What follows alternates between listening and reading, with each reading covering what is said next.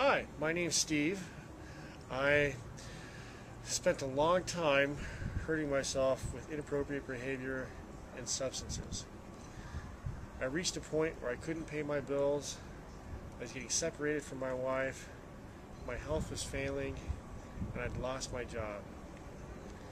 Through a miracle of God, I found Sober Living by the Sea had a Celebrate Recovery program. I had participated in recovery programs before, but there's a big difference between participating and actually looking for recovery. I found some recovery here with Celebrate Recovery.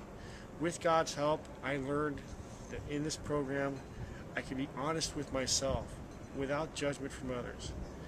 They provided a comfortable, safe place for me to share my pain and my problems, a place where I could help work out successful details for the rest of our life.